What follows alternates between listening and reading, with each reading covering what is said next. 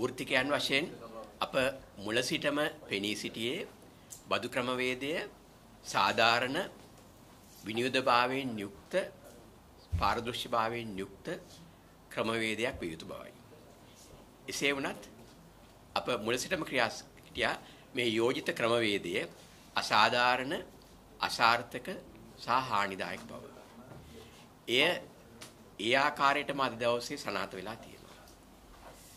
මේ අසාධාරණභාවය ගැන කතා කරනවා නම් මේ ක්‍රමවේදය ක්‍රියාත්මක කර ආකාරයේ සිටම ඒ පැහැදිලිව දකින්න ලැබෙනවා. ජාත්‍යන්තර මූල්‍ය අරමුදල ප්‍රකාශ කරේ වැඩි ආදායමක් ලැබෙන අයගෙන් බදු අය කරලා එම සහන අඩු ආදායම් ලැබින් ලාභීන්ට ලැබිය යුතු බව. ඇත්තරම සිද්ධ වුණේ නේද? ඇත්තරම බදු අය කිරීම සිදු වුණේ වැඩි ආදායම් ලාභීන්ගෙන් නෙමෙයි වැටුපක් ලබන සේවා නියුක්තිකයන්ගෙන්. ඔවුන්ගෙන් ඉතා අධික බද්දක් අය කරා.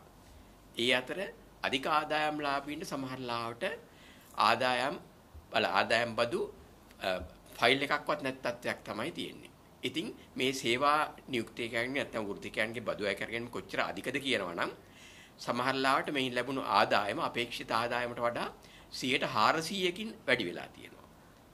රජයේ අපේක්ෂා කළ ආදායම. එයින්ම පේනවා එක කොටසක් ඉලක්ක කරගනිමින් ඊට අසාධාරණ ලෙස බදු අය කර ගැනීමක් සිදු වෙලා තියෙනවා කියලා. සමහර වෘත්තිකයන්ගේ ඒ බදු වැඩිවීමේ ප්‍රමාණය 800කට වැඩි. සමහර වෘත්තිකයන්ට අද දවසේ තමන්ගේ වැටුපවත් ඉතුරු වෙන්නේ නැත් තත්ත්වයක් තමයි පවතින්නේ. මෙහිදී රාජ්‍ය සේවකයන්ට සිදු වෙලා තියෙන අසාධාරණ ඊටාත්ම බරපතලයි. ඉතින් මේ වගේ අසාධාරණ තත්වයකට මුහුණ දෙමින් තමයි අද වෘත්තිකයන් විශේෂයෙන්ම රාජ්‍ය සේවයේ සේවා නියුක්තිකයන් සිටින්නේ. ඒ වගේම මේ අසාධාරණ ක්‍රමයෙන් සාර්ථකත්වයක් ඇති වුණාද ප්‍රතිඵලයක් ඇති වුණාද කියන එකත් ඊටා වැදගත් කාරණයක්.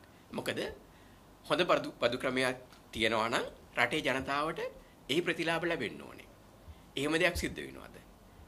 ඒ වෙනුවට සිද්ධ වෙන්නේ රටේ ජීවන වියදම තව තවත් වැඩිවීම, ඒ වගේම දරිද්‍රතාව තවත් වැඩිවීම, දැන්ට තියෙන තොරතුරු අනුව නාගරික දරිද්‍රතාව 100ට හතරකින් වැඩි හතර ගුණයකින් වැඩි වෙලා තියෙනවා. ඒ වගේම ග්‍රාමීය දරිද්‍රතාවත් තුන් ගුණයකින් වැඩි වෙලා තියෙනවා.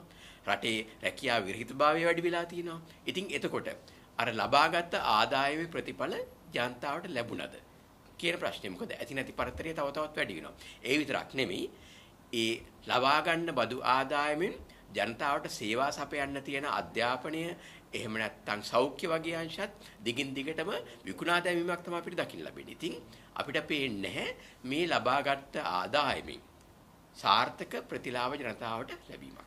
තුන්වෙනුව මේ හානිකරභාවය දැන්ටත් දකින්න ලැබෙනවා.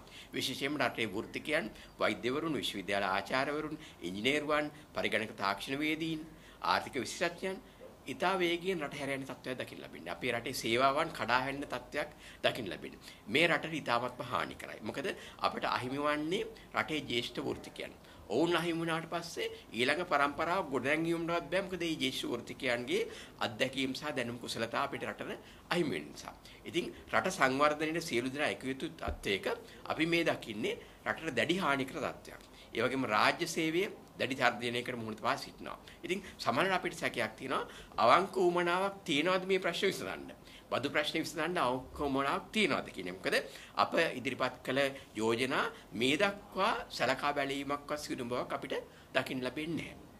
ඒ වගේම බුද්ධිමතුන් වෘත්තිකයන් රට හැර යාම සම්බන්ධයෙන් ඒ සම්බන්ධයෙන් යම් ආකාරයක කඩස්සල්ලක් තියෙන බවක් අපිට පේන්නේ නැහැ. ඉතින් මේවා දැඩි ප්‍රශ්නකාරී තත්ත්ව. එවැනි තත්ත්වයකට තේ උනත් වෘත්තිකයන් තවමත් සාකච්ඡාවට විවෘතයි.